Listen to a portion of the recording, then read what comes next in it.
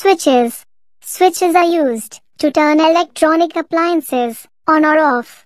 We can see this simple on-off switch in our house. The electricity coming in our home has two terminals, phase and neutral. To control an electrical appliance using a switch, we connect one electrical wire directly to the appliance and the other wire to the appliance through the switch.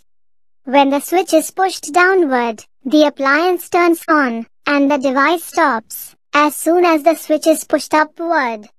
This is the symbol of an on-off switch. This symbol shows the open switch position and this symbol shows the closed switch position.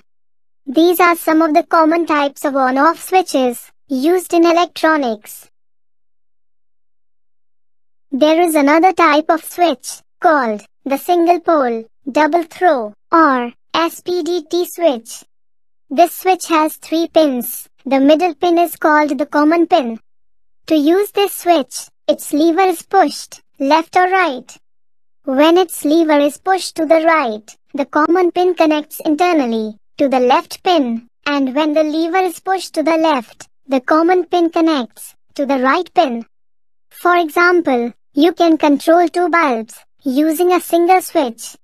When the left bulb is on, the right bulb turns off and when the right bulb is on, the left bulb turns off. These are some common types of SPDT switches. It is a sliding switch which needs to be slide to the left or right to operate. It is a toggle switch, and it is an up-down switch. Like SPDT switch, there is another type of switch, called double pole double throw, or DPDT switch. This is the symbol of a DPDT switch. These switches have six pins. To understand its working, we can give name C1 and C2 to both its middle pins. We will give name A1 and A2 to both the top pins. We will give name B1 and B2 to both of its bottom pins.